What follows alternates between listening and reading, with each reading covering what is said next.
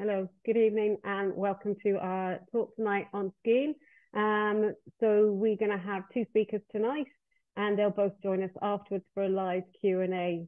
Um, so any of you that don't this, I'm Fiona Rota, I'm the Business Development Manager here in the Sports Surgery Clinic. Um, so we are uh, situated about 10 minutes from Dublin Airport. We're just off the M50 and the M1. We're a leading orthopaedic clinic and we're internationally and nationally renowned. We're, um, leaders in hip replacement, knee replacement, shoulder replacement. We also look after spinal surgery, shoulder surgery, elbows, hands, knees, really everything. And soft tissue injury like the ACL, and we do knee arthroscopy. You'll hear a bit more about the knees during the talks. Um, hopefully you won't need us after your skiing holiday, but um, Brian Devitt will be talking more about those ACLs. So we have three MRIs here and a CT scanner. We've a state-of-the-art um, physiotherapy and sports medicine department. We've over 30 uh, orthopedic consultants and all our physiotherapists, nurses and strength and conditioning coaches are, are specialized in orthopedics and MSK. So tonight, we, like I said, there's the Neil, Dr. Neil Welch and Professor Brian Devitt are going to join us live for a Q&A after the presentations. Now you'll see a tab there, ask a question. So if you can type in your question, we will endeavour to get through them all tonight if we can. And if any come in late, we can also um, send you responses tomorrow. You'll also see another tab there for other events. So you will be able to go in and see this afterwards, or if you want to direct any friends to watch this afterwards, it will be up on our website. Now, there are other events on there that we've done in the past that might be of interest to you uh, like golf um, events, hiking, um, running, um, all those kind of sports injuries, which you can go in and have a look at as well. And we do have future events there that will be happening. We have a golf evening in March of this year. So the first speaker tonight is Professor Brian Devitt, and Brian's going to be talking about the knee injury, and it's called après ski. And then uh, there'll be a second presentation after that, and I'll see you then. Good evening. My name is Brian Devitt. Uh, I'm Professor of Orthopaedics here at UPMC Sports Surgery Clinic, and I'm a knee surgeon. So the title of my talk this evening is Après Knee, Prevention and Management of Knee Injuries on the Ski Slopes. So now that many of you are uh, going away to um, ski resorts, this is some hopefully some salient information that should help you uh, on your journey and try to avoid some ski injuries. So I'm just going to start off with a video this video is a, a classic example of what happens on a ski slope. So you have friends who are laughing at you falling, but oftentimes the fall is, a, is an injury. So I just want you to hear what happens now as this skier comes down the slope. You hear that snap? Well, if you look at the, the person, that snap is not the skis coming off. That snap is the ACL rupturing. And you see that the individual is coming down a slope, probably at too high speed, and leaning back onto his skis. And that's what's causing the, the, the injury. And this is a classic example of how an ACL ruptures on a ski. So I was lucky enough as part of my um, fellowship training that I was away in Vail, Colorado, which is a ski, a ski resort. And one of the uh, forefathers of treatment of ski injuries is this man here, Dr. Dick Steadman. And unfortunately, he passed away just last year but he described the ski as the ideal device to rupture an ACL. So really have to be cautious when we're using skis because they there are a high rate of knee injuries associated with skiing. In terms of skiing, it's good for our business because people go away and injure themselves. It's a hugely popular sport. You see nowadays many people are heading away to, to slopes as holidays become a little more accessible. Um, and it's a it's a very enjoyable pursuit for the whole family but it is a risky sport. And we see here just the idea of the type of knee injuries we get. So 35%, the majority of injuries occur in the knee. And that relates to what Dick Steadman said about the ski, because it's a high torque um, object that you, you twist at your knee because your boots are held in place. But you also get other, other injuries uh, associated with skiing. The equipment has changed markedly over the 100 years or so people have been skiing. And what you see here, the old-fashioned skis where people had a much lesser binding and the boots weren't as high uh, on the ankle as they are nowadays. You see the modern boot is the, it goes up to the um, two thirds the way up your shin and your ankles are essentially fixed, that it just allows a bit of flexion and extension at the ankle, but very little rotation. So the rotation doesn't occur at the, at the ski, the rotation tends to occur at the knee. And that's what happens in terms of getting ACL injuries. The, um, you'd often hear and the people getting skis and then getting bindings and the bindings are tightened up. So when you go to an instructor, or an instructor or a person who's um, giving you your skis, they will often talk about the din. And the din relates to how tight the boot is fixed to the ski. So when you have are a very aggressive skier, you want your boots to be really tightly fixed to your ski. But when you're a more novice skier, you want your boots to be able to come away from your ski. So if you have any suspicion or suggestion of knee problems, you should probably get your din fit very low so your ski comes away from your boot and you don't turn your, your boot uh, and your knee and cause an ACL injury. So the terrain and conditions are also very important. You notice that the individual fell on very deep snow, but equally if you have icy snow or very slushy snow, they can grab your skis and be at higher risk of injury. And unpredictable behavior from people who are on holiday, probably drinking a bit too much, and uh, or potentially just being a bit risky uh, on holiday, they can cause collision have injuries, which can often give rise to um, to injuries themselves. So if we look at the example here, this is from uh, Deer Park in Utah, um, where they give an example of how people cause uh, have injuries, and they tend to be novice skiers where they're leaning backwards and they're not leaning down the mountain as we're instructed, and that creates the skier to be off balance. The hips tend to be below your knees the uphill ski is unweighted, and then you tend to fall on the inside uh, of the uh, edge of the ski, uh, and this causes the injury. So this causes your knee to be in a vulnerable position as the ski twists. As I said, the unpredictable behavior, it's great fun and the après ski, but it's also when you're coming down the mountain with a few pints on board and you don't have that neuromuscular control you perhaps had in the morning, or perhaps even in the morning, you're a bit hungover and you're going skiing, it does increase the risk of injury, unfortunately. And unfortunately, you just can't legislate for stupidity. So there's many things you can do, and this is an example of unpredictable behavior.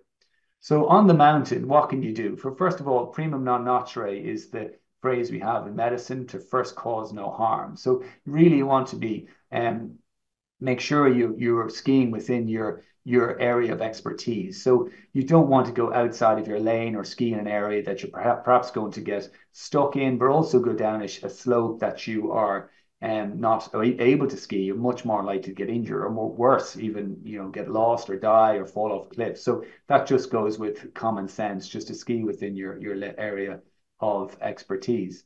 Also avoid hazardous conditions. So particularly if it's snowing or you're not a very good skier and you have very low light, it's very hard to see the undulations in the ground and that can make you more likely to fall over. So even on a flat slope, it's really difficult. You have a whiteout. So beware of the hazard, uh, hazardous conditions and also be available, well able to stop before you start. So this is an, an, example of another collision type injury, but someone a little bit out of control. So skiing is a hazardous sport. You need to stay away from people who are unpredictable and get back into your comfort zone. So stay on the slopes if you're not so uh, skilled to go off the slopes. So in the clinic, what, what do we do? Well, one of the, this article I often quote in my talks is by um, uh, a very eminent Professor Apley, and he talks about intelligent kneemanship and doing appropriate examination is, is very important. But prior to that is taking a, a, history. So typically an individual who injures their knee in history is skiing down a slope, has a fall, tends to hear a snap as we heard in the opening video, but then is has difficulty putting the ski back on and skiing down the mountain. So you know it's a more serious injury when someone is taken off the mountain by the ski patrol. But what typically happens is to go to the, skin, the clinic at the end of the mountain, they get an x-ray and they get a very overpriced knee brace and then they're sent on their way. Um, but in terms of taking the history, you can really tell what's gone on from the, the fall, the crack that people tend to hear. That's very indicative. When you're doing a clinical examination, we look for um, a number of features and you often compare to the, the normal knee because it gives you a good idea of what's going on. But we're looking for the presence of swelling within the knee. And swelling following an injury is typically blood. So it's bleeding because you've torn something. And very commonly it's your ACL. So that's really important to look at the other knee. And you see yourself when you take off your salopettes that one knee looks swollen. It's probably something you should get assessed. In terms of the uh, clinical examination, we go through in a very systematic manner to assess all of the ligaments around your knee. So the ligaments on the side of your knee, so you can often injure the medial ligament or inside ligament. The the, uh, the ACL is is very commonly injured, so you'll see a very swollen knee as you see in this situation here. And oftentimes in the ski um, medical uh, facilities, they're very limited. They're quite primitive. So what they typically do is simply an X-ray to outrule a fracture. And that's very important. But the clinical examination will determine whether you have a very severe knee injury, which may have more than one ligament injured, or whether it's a, a more routine knee injury with just a solitary ligament. And that has big implications. A lot of times they'll try to sell you a brace, and oftentimes the brace is not needed. But then they'll say, well, let's get an MRI scan or let's have surgery early on occasion. And this used to happen occasionally in the US. And I would advise against this. I think that in the cold light of day, you can get further investigations when you come home and get appropriate treatment that's not under pressure or under the coercion by people trying to make money. So it's very important to consider that. The X-rays example here can show you um, what a little flake of bone coming off from the side of the, the tibia and that's an example of what we call a Segond fracture, and that's indicative of an ACL injury. The MRIs can be done oftentimes in the ski they're poor quality, but in this situation, you can see some bruising at the uh, mid portion of the tibia and sorry, the femur and also the back of the tibia. And this is indicative of a, uh, an injury that causes an ACL rupture. You can do ultrasound scans, and these are cheap uh, scans to get, and they often are effective for looking at ligament injury on the side of the knee. And then referral. Um, so the referral is, is very important. So getting back to to your your home country is, is key and being packaged and getting back uh, safely. So uh, that's that's very important. So as I said, in the cold light of day, this this is when we really yeah, should see people when we can just assess them appropriately. We take away the the drama, we get them back where they're comfortable and the anxiety is lessened. They speak the language and we can explain things and get the appropriate investigation. So early diagnosis is important. We need to know what we're dealing with, but oftentimes with knee injuries, we don't have to rush into surgery. And sometimes if you have uh, decreased range of motion or your muscles aren't working properly, delayed management is much more appropriate. We then also discuss the um, treatment. Not all knee injuries require surgery, and I often tell people they should try to avoid surgery if they can, but certain situations will warrant surgery, and we'll go through all of the options with you in a, in the cold light of day. We remove the splints as soon as possible, and a lot of times these splints are unnecessary, particularly when they keep a knee straight. That joints are designed to move, and really we don't like keeping them straight unless it's a really serious um, fracture that has to be stabilized. For most ligament injuries, if they're if the knee is not very unstable, you can move them, and that's really important. Um, and getting being ready for surgery is dependent on range of motion. So that's really key. And that's the first thing we we do.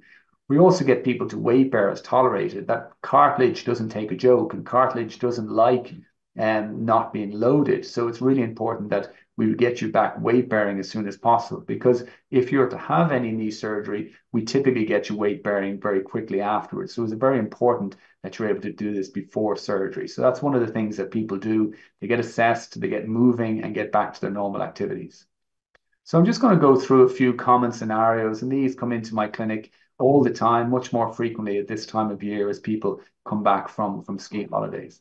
So I'm going to start off with a novice snowboarder. So I'm just going to read out the type of referral I get.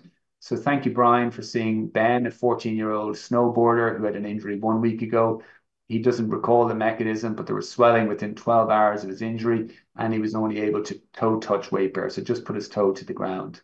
He was unable to extend his knee, so you know that there's some perhaps some fluid in the knee. Uh, an X-ray of plain film was unremarkable, except for some fluid within the knee and an MRI was performed, which showed a small fracture to the uh, inside of the knee and a sprain to the medial ligament.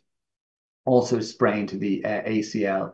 He's currently in a brace, and I've advised him to non-weight bear. His mother will bring the films with her. So this is a very common condition we, we get. So in terms of the history, it was a contact injury turning, and he didn't feel a pop. He fell to the ground. He was unable to weight bear, and he was taken off the hill. No immediate swelling, but swelling within the first 12 hours. We know that something serious has happened. On clinical examination, then he held his knee in a flex position, so unable to activate the muscles at the front of the knee.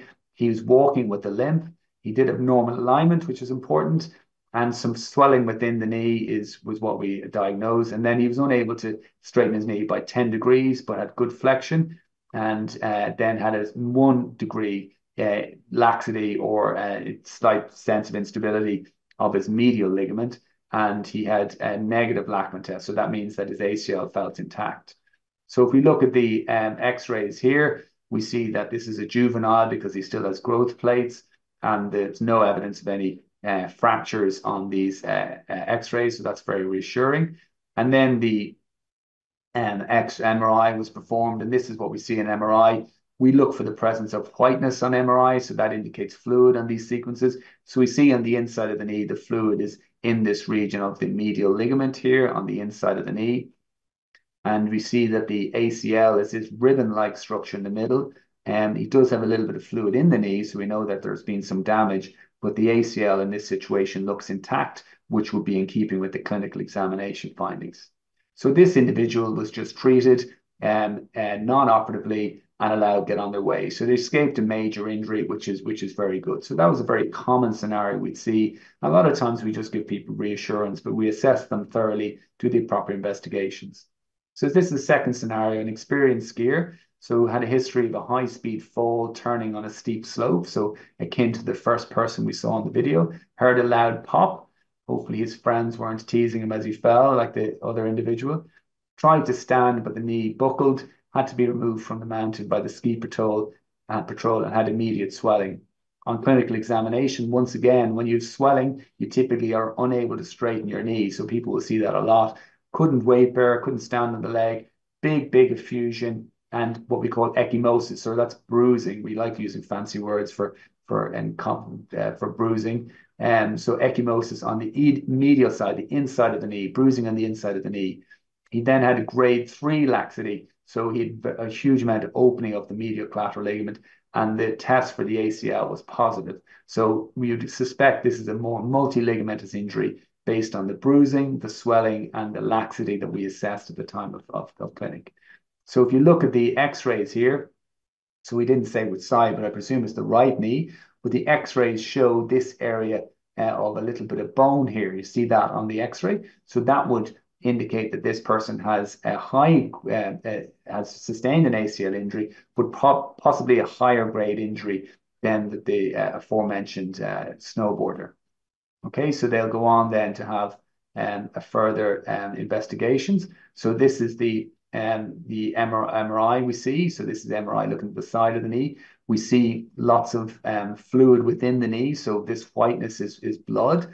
We also can see some bruising. So the, the color of bone normally on these scans is this dark gray or black color, and this area is a lighter gray here. So lots of um, fluid within the bone, or what we call bone bruising. And you can see uh, the meniscus, which is this black structure, is hanging off at the back of the knee. So we know that this knee is further far forward. So there's something has been ruptured in this case. And as we look into the middle of the knee, we see that the ribbon-like structure that we saw previously has been ruptured. So this is the ACL, which is torn. So thankfully, um, this person has got the appropriate imaging and we able to get the appropriate management, but there is a definite tear of the ACL here, as you can see. And then we look at the inside, the knee from the front, and we see that here where you'd like to see a nice black ligament, that that's just this gray color. So we know that the medial collateral ligament has torn off as well. And that would be in keeping with the laxity or the feeling of looseness of that inside ligament. So that's a, a serious, more serious condition, and that's a condition that would require um, ACL reconstruction and probably medial collateral ligament repair or reconstruction. That's a more operative case because it's a higher grade injury. So finally, we get a recreational skier. So uh, a twisted knee removing the boot from the binding. So that's a very unfortunate um, type of scenario, but it's it's a common scenario, particularly when you're tired, where you're twisting your leg, you're frustrated, you're trying to get your boots out, which feel cumbersome. Felt a crunch in the knee.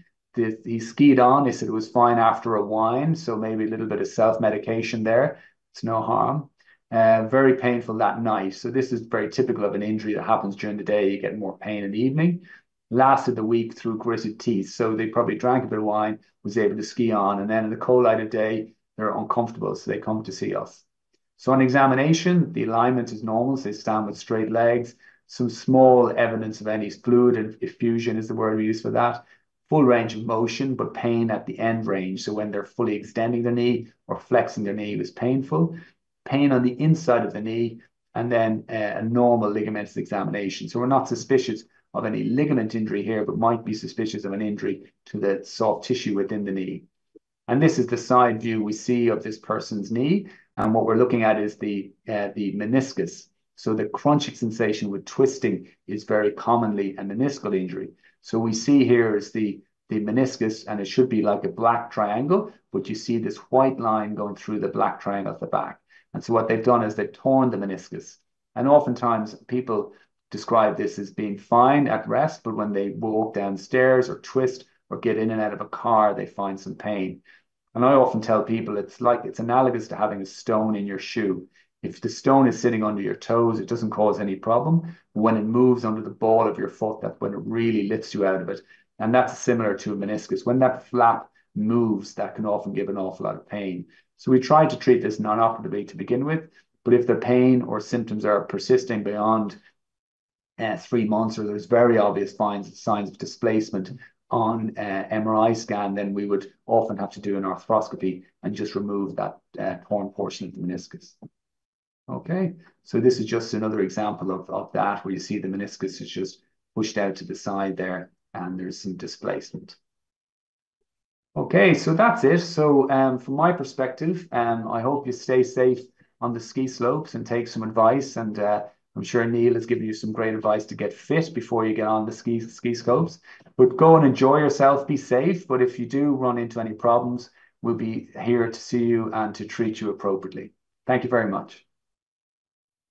Hi, welcome back, and thanks, Brian, for that presentation. So just before the next presentation, um, just to remind you, we are part of UPMC now, and there is a UPMC network around the country with hospitals Whitfield in Waterford, Aut Even in Kilkenny and Clane and Kildare. And also they have uh, a number of sports medicine facilities around the country. So there is a tab there that you can see UPMC. So just if you are living in other parts of the country and you do need to make appointments, you can use that as well.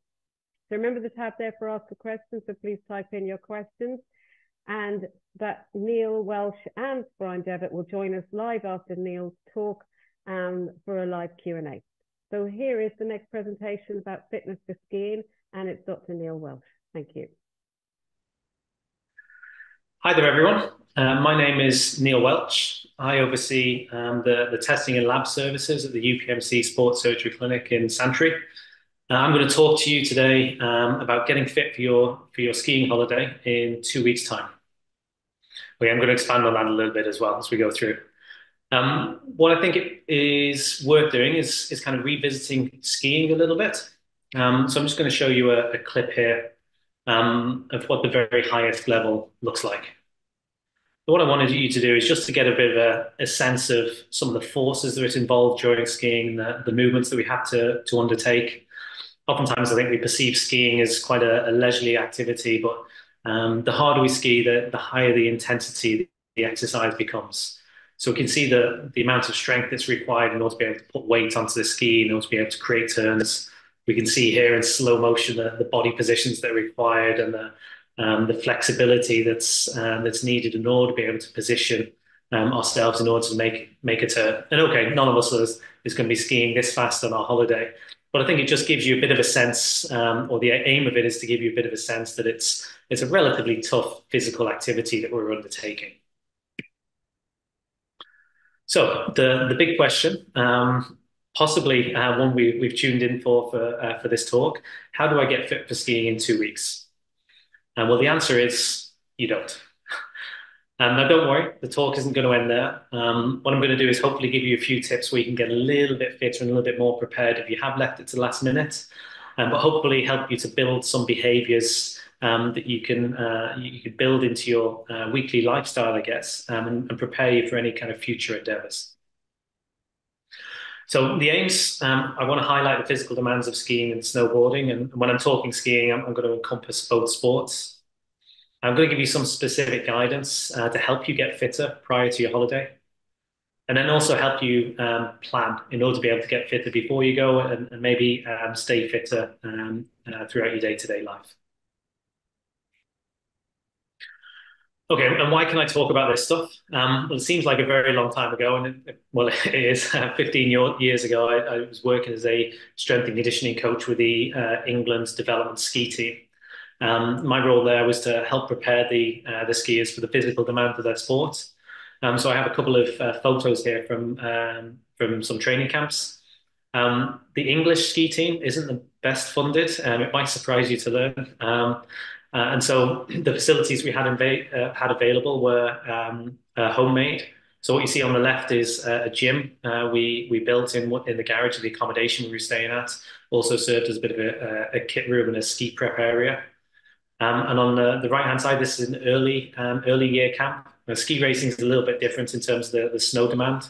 They actually quite like hard packing and icy conditions, so uh, early season training camps aren't a problem. Uh, this is a resort in Italy called San Sicario, um, where we go go out and try and marry some of the um, uh, what we call the dry land conditioning, so the uh, uh, the off snow stuff, alongside some of the uh, the preparations for their, the technical training. And so I've got a, a pretty decent um, understanding of the, the physical demands of the sport from um, from that work. Now that said, there are some very specific challenges that we um, uh, have to negotiate when we're going on a ski holiday. Um, so the first is that we only do it for one, maybe two weeks a year if we're, if we're very lucky. Um, what that means is it's very difficult to specifically condition for skiing when you only do it for five or six days per year. Um, so that offers its its own demands. Oftentimes, and this is certainly um, off the back of speaking to patients who, who might see come through the clinic, um, often there's very little physical preparation. Um, some of us um, very much see uh, going skiing as a, as a holiday. we don't necessarily change our behaviors, and certainly some of us are quite sedentary in those behaviors. So we're moving into an activity that is quite physical off the back of, um, of doing a lot less physical activity prior to that. Then the, the makeup of the holiday itself, you know, you buy a lift ticket for five or six days. Um, we don't like to see that money go to waste. And so we're going to ski back to back days. Essentially, you're doing the equivalent of getting running shoes on and, and trying to run a 10K for five or six days on the bounce. Um, and we all know we'd find that incredibly challenging. We then throw into the mix oftentimes reduced sleep. So whether that's um, uh, self-induced um, uh, through enjoyment on a holiday, or potentially um, uh, children not settling into a to a different routine. Um, that is often impacted, um, and then inad inadequate recovery. So a bucket of melted cheese and um, a few pints or glasses of red wine isn't always the best recovery recovery from a, a day's physical activity. So these are some of the innate challenges that we have when we go away the physical demands of skiing are relatively straightforward. I'm not going to go into huge, uh, huge depth here, but we saw in the video there, we need to create pressure on the boot and the ski in order to be able to initiate the turn. That requires some force and, and hence some strength. Then in order to be able to hold our edge during the turn, um, we have to undergo what we call eccentric contractions to be able to tolerate those forces. So the strength demand, particularly on the, the bottom ski on each turn. Um, and then we have some of the demands of uh, the, the holiday itself. So being able to tolerate multiple runs. And oftentimes, some of us want to ski as many vertical meters as we can. We have tracking apps for that. We do a top to run bottom. So we want to do multiple runs each day, and we want to do that on consecutive days. And the stronger you are, the better able you are to tolerate those um, uh, that, that, level of activity and that volume of uh, physical activity. On the other side of the coin, we have fitness. So there's an aerobic demand to skiing. Um, so we, we know that when we get to the bottom of a run, we can feel out of breath. And again, the, the faster we ski and the more intense we ski, the more out of breath we do get. Um, aerobic uh, capacity also helps us to recover between runs. So skiing isn't purely aerobic. There's an anaerobic element to it, which is where we talk about building up metabolites. People talk about building up lactate in muscle. Um, and the, our aerobic uh, system helps us to clear that and recover between runs. So being fit is important to be able to tolerate that. And then um, again, depending on the resort we select, many of us will select a resort um, at higher altitude to be slightly more snow sure. Um, so we are going to be operating at altitude and high levels of fitness is going to help us to do that. So when I'm talking about fitness or, or aerobic fitness, essentially this is the ability of the body uh, to transport and, and use oxygen during physical activity. Again, in order to be able to access some of the energy that we have stored, um, basically, basically in fat, that reaction requires oxygen. Um, and that, that um, reaction is relatively slow which is why um, we uh, we tend to use uh, aerobic or we use aerobic um, pathways during lower intensity activities where there's not a high speed demand on us. So aerobic uh, conditioning, aerobic fitness usually relates to activity that you can do for a relatively long period of time. So essentially over a minute and anything up to uh, a couple of hours. So that's what I'm talking about when we're, we're talking aerobic fitness. In terms of actual measure, uh, measurement of fitness, uh, VO2 max, this is the maximum amount of oxygen that you can use during intense physical activity. We measure here, we measure it here in clinic, and it's available for, for measure across um, a few of our UPMC sites. Uh, we measure it using a gas analyzer or a treadmill or a bike, and it gives us a really accurate measure of how fit you are. Um, and the reason I put the picture of the, the biathlete here, um, so this is somebody who cross country skis and then uh, and then shoots at a target. Um, these athletes are the, uh, the fittest on earth. You know, they they they live or born and, and grew up at usually high altitude um, and train in a very intense um, uh, endurance activity. So they have very very high VO2 maxes. Um, but having some sort of measure of uh, your aerobic fitness is a good way to understand um, what sort of level you're at at the moment prior to your holiday, or even just for, for general health. Um, but it changes. Okay, and this is one reason why um, it's a good idea to start understanding your own aerobic fitness. Um, these changes happen throughout our lives. So as we age, we tend to lose fitness levels. Um, and this is often dependent on the type of activity levels that we, uh, that we partake in. So if we play a lot of um, field sports during our uh, teens, 20s, early 30s, and we stop, then we don't have a, um, an activity in order to be able to uh, maintain our aerobic fitness. So we lose levels. If we're more um, uh, conditioning focused, so if say we're a runner or a cyclist or a triathlete, oftentimes we'll maintain high levels of VO2 maxes um, to late 30s, early 40s. Um, but we lose fitness basically um, uh, based on the amount of training that we do. So if um, our activity levels change, we have different lifestyle changes, we take on study, we have busy periods at work, or children get in the way, um, we, we lose fitness if we have periods of illness, so we're in hospital for a couple of weeks, for example, or um, and a, COVID would have had a big impact on this as well, then we lose fitness and it doesn't come back by itself. You know, your body gets used to what you give it, and you need to be able to you need to train it in order to be able to recover those fitness qualities. There's some elements of our fitness is genetically determined by stuff like our, our size, so that contributes to our lung size and the size of our hearts. But we can all we can all improve it, and I imagine there's very few of us who are um, engaged in the the talk tonight um, uh, that has reached our reached our peak. So we can definitely all improve.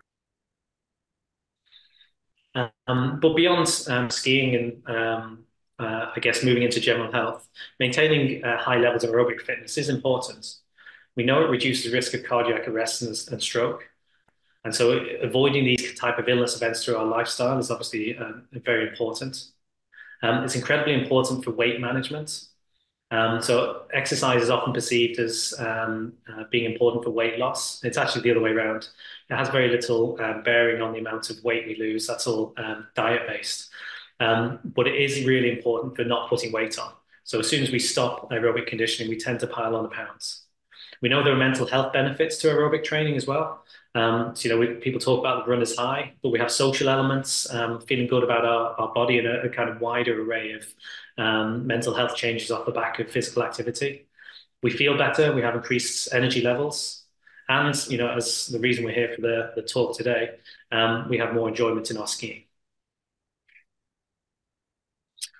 So, how do you get fit? Well, first of all, you, you have to pick an activity and we don't get fit by sitting down watching Netflix. So um, there are plenty to pick from.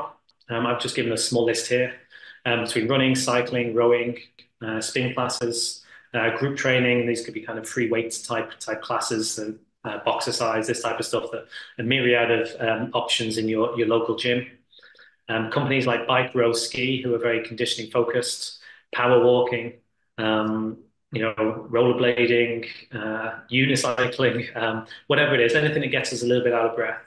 Um, and, and, the reason I say you've got to pick an exercise, it has to be enjoyable as well. I'll come on to why that's important shortly.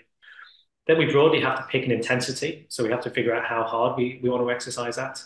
And again, oftentimes I think this is driven by um, what we're comfortable doing.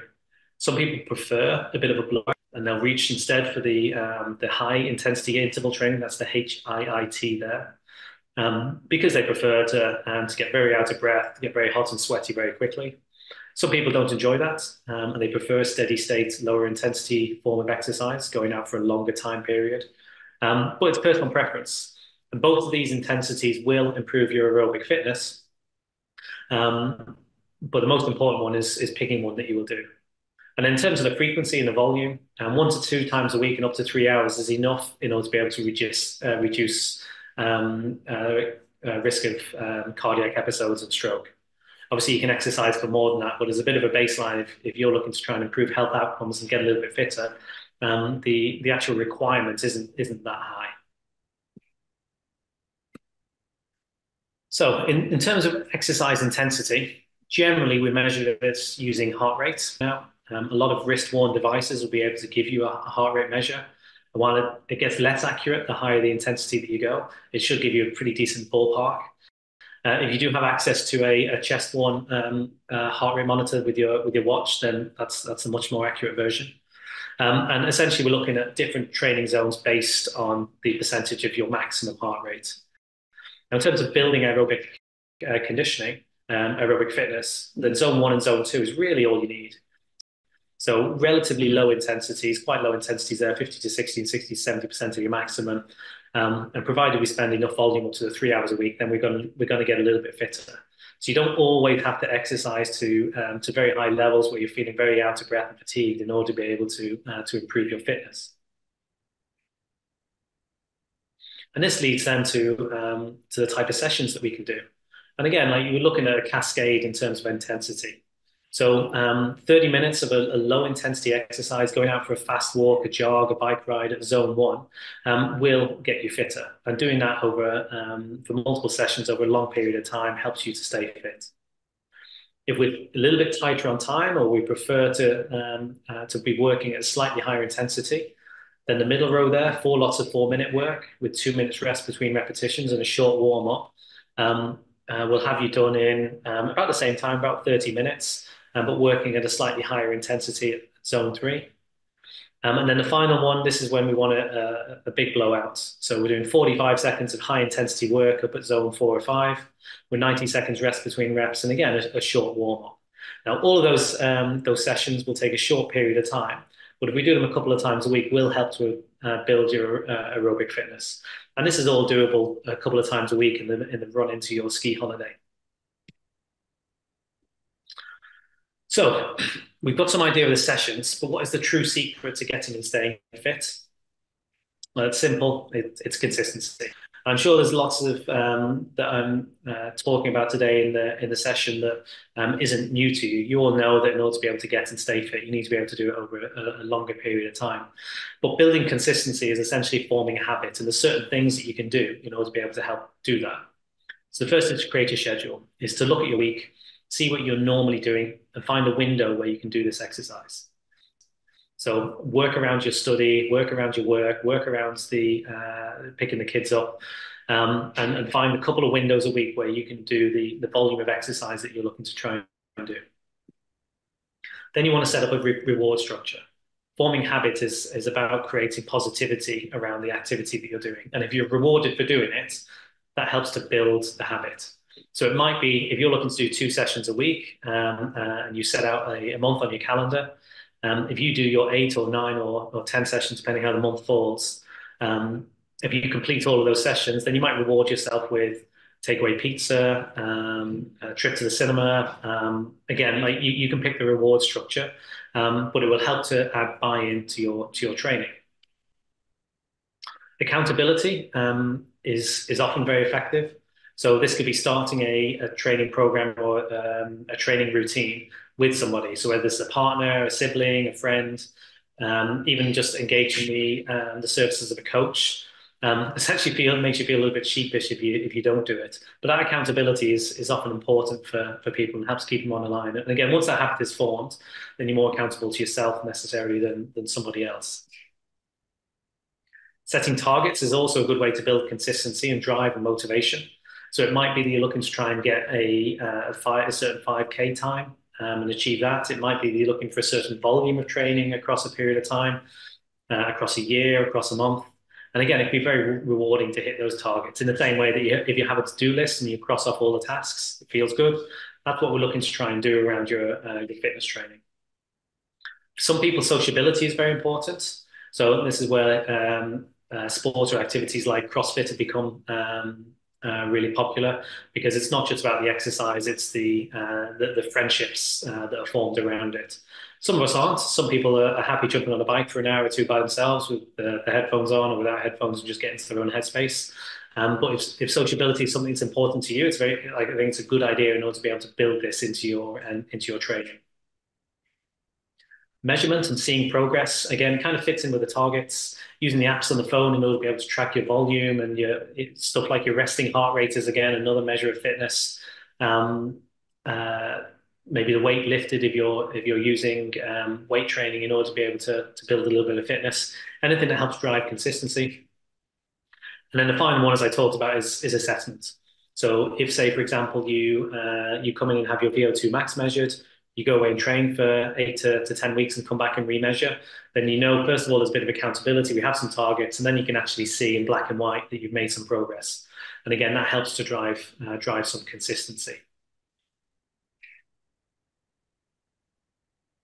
So in terms of some tips for enjoying your holiday, and um, hopefully I kind of banged the drum enough throughout the uh, throughout the talk here um, to do some aerobic fitness work in the lead-in. Um, even if it's two weeks out, if you get four sessions in, you're going to be a little bit fitter and you're going to find your holiday a little bit easier. Um, if possible, try and use mixed methods. So I know I haven't really touched on strength work today, um, but if you can do some fitness and some strength work, it's going to help you um, tolerate the demands of uh, skiing much more. And again, you'll get more enjoyment out of your holiday. Next, I'd say take regular breaks especially one if you're you're tired, sometimes a little bit hungover, but um, taking regular breaks is going to be important. Um, that's going to lead to fewer mistakes. And if skiing at very high intensity, again, it's just worth bearing in mind that um, your, your body's going to it's going to take its toll on its body again, particularly towards the end of the week. Um, so uh, taking regular uh, breaks to recover is going to be very important. This is quite a specific one to skiing. Um, but when you get your when you get your skis, like if you uh, if you don't have your own, you're renting them, um, or even if you do have your own, you have them set up. Just use the recommended DIN settings on the binding. So a DIN setting is how tight the boot is held into the ski.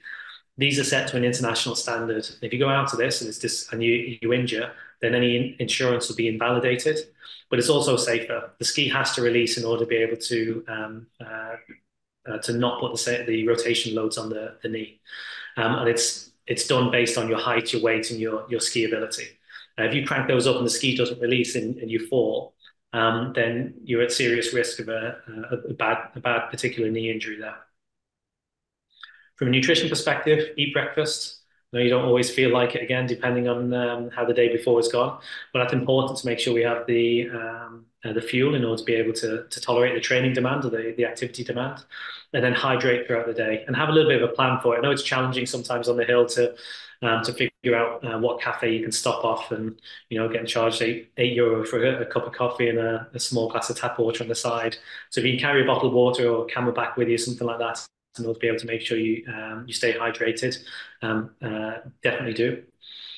Um, be wary of fatigue. So as I said, um, towards the end of the week, but at the end of the day, and then also changing snow conditions. So as particularly if, if we have a better um, uh, conditions this year and a little bit more snow, you'll start to get very mogully conditions towards the end of the day with uh, with ice in between those moguls. Um, that's going to be much more challenging often than the skiing at the beginning of the day.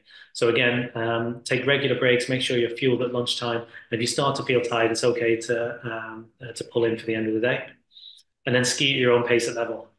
Okay, and again, I know this is challenging depending on who you're skiing with, um, but you'll massively reduce your your risk of injury and increase your enjoyments because you won't be as tired um, when you ski at your own at a pace you're comfortable at and a level um, intensity that you're comfortable at.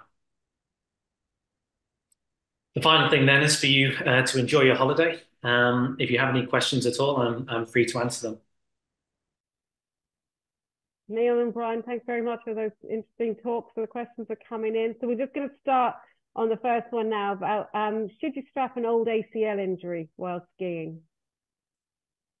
Um, I might start with that one. Um, so I suppose there's very limited evidence to suggest that strapping is going to reduce your likelihood of sustaining a further injury, but oftentimes people feel that the strapping gives them a bit of extra confidence. So there's no harm in doing it.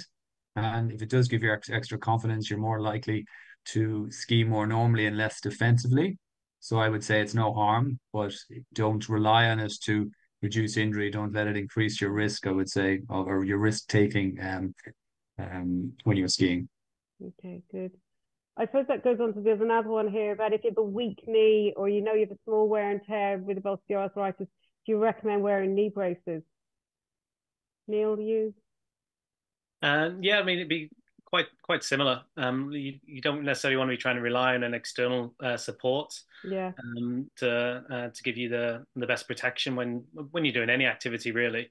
Um, I'm always going to be a little bit biased towards the exercise side of things anyway. So um, the the stronger you can get your leg uh, prior to, uh, to undertaking or um, uh, partaking in a sport like skiing, uh, the better. And as Brian said, if it gives you a little bit more confidence um, when you're uh, when you're on the hill, um, yeah. then yeah, work away with the um, the knee support. Okay. Uh, someone here, Joanne's going, she tore her meniscus skiing in February 2023, so last year, and was told snowboarding would be better for her knee if she was to try going again. Would you agree with this, that snowboarding may be less severe than skiing? Um, yeah, I think in just in general, you're in snowboard, just the position your feet are in, you're there's less twisting in terms of um the rotation, which is a very much higher risk for injuring a meniscus. Um, you tend to flex your knees a bit more, your body weight shifts where you're leaning forward in your toes or in your heels. Um, so you have less risk of injuring your your um, meniscus. But having said that, going up skiing is risky in itself because the ground is slippy, you've got big boots on. So there is increased risk than you would just in normal everyday life. Um, but it's certainly lessened with snowboarding, definitely. Okay, good, thanks. Uh, after knee replacement, when would you recommend going skiing? Um, well, I suppose you just have to see about how functional you are in everyday life once again. I think that you know, nowadays we're doing knee replacements on people who are younger, but also um, more elderly people are are continuing to ski, which is fantastic. So you really need a good range of motion, as um, Neil has said earlier. You need good strength, which is is is really important for skiing. So you just want to make sure you're fully optimized from your rehabilitation perspective. So typically, you find within the first six months people would struggle. So anytime after that but provided that you're you're pain free, you don't have any swelling in your knee, and you've got good strength, and you can get that tested, which is very effective to com- compare it to the opposite side.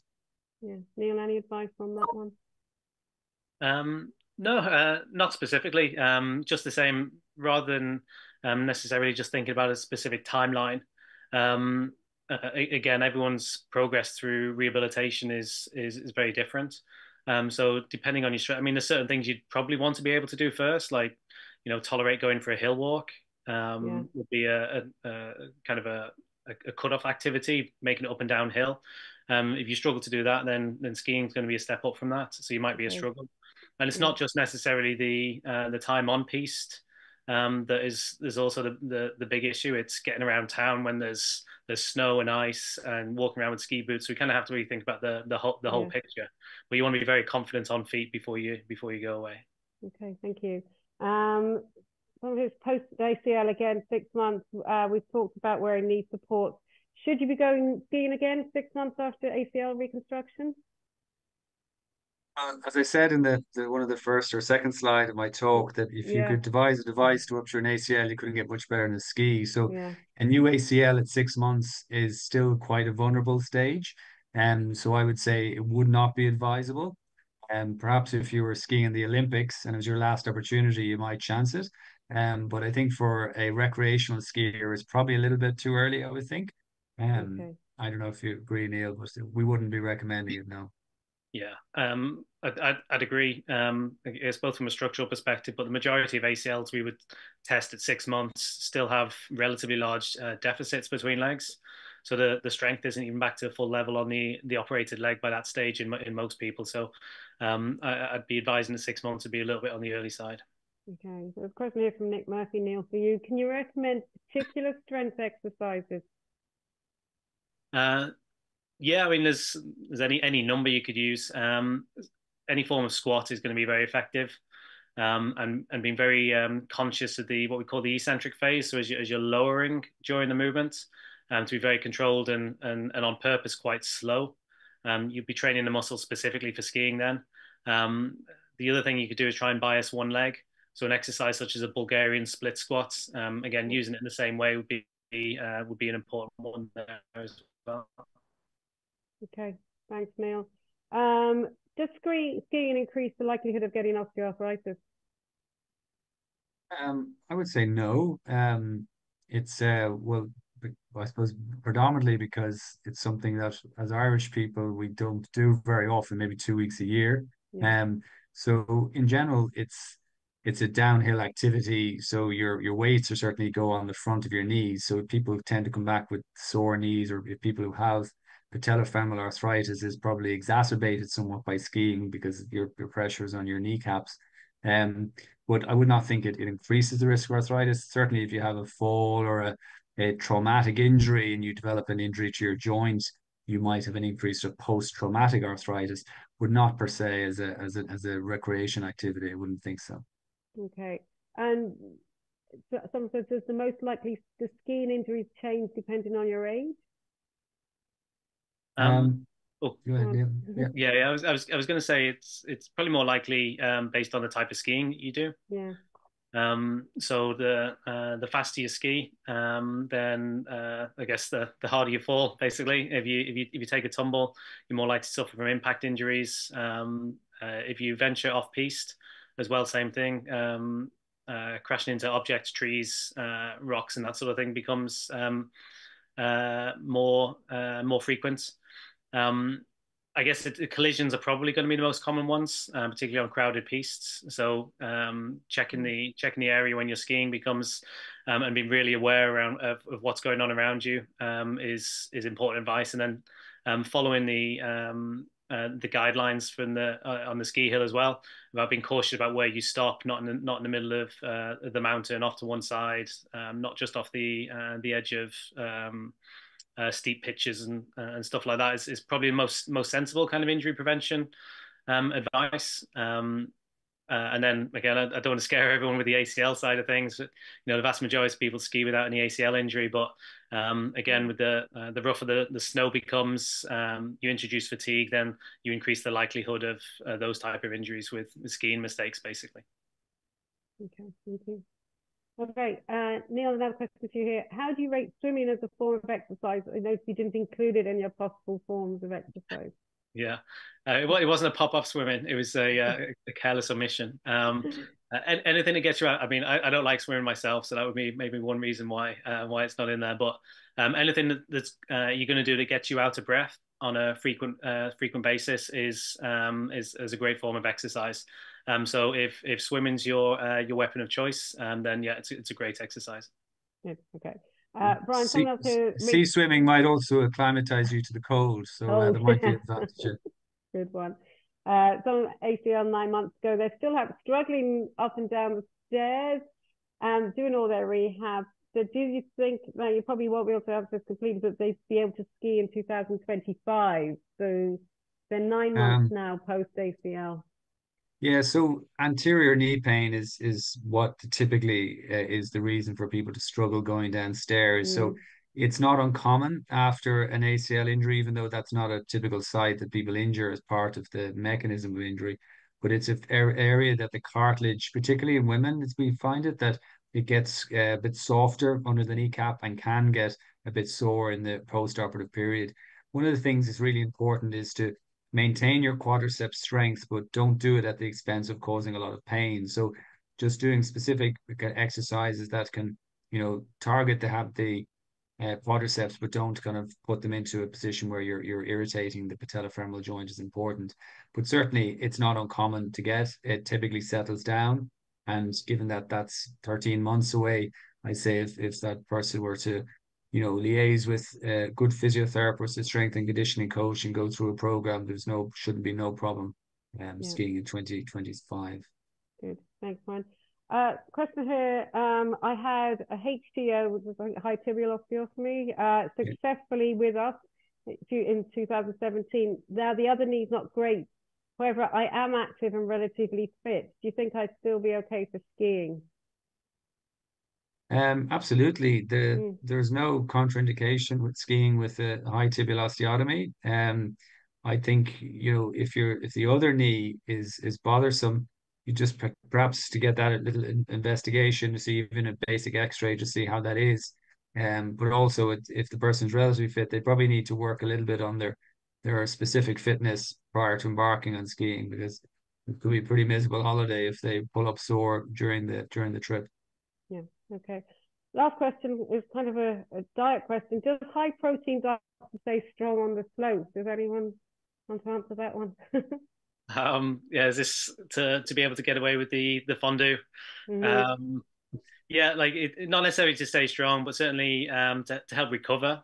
Uh, definitely, if there's any um, any muscle soreness after a day, after a day skiing, then yeah, um, having a high protein diet is really beneficial for that. Um, as I think, as, as I mentioned in the the talk, the, the main thing is the preparation beforehand. So the stronger you fit, you, you are going in, um, the uh, the better you're going to be on the day um, or on the holiday. Um, so yeah, uh, eat the protein, um, but don't depend on it. Okay. Neil and Brian, thanks very much for joining us tonight. Just a reminder to everyone that if you want to watch this event, it is on the website and all our events um, are there on the website too under public talks. So there's skiing, golf, hiking, walking, running as well there, and all our speakers will be there as well. So uh, then we will send out a survey. It's really important if you can send us back your information. We will use it in the future to help us um, decide what talks to do and anything you suggest would be helpful. So thank you again for joining us tonight. Thank you.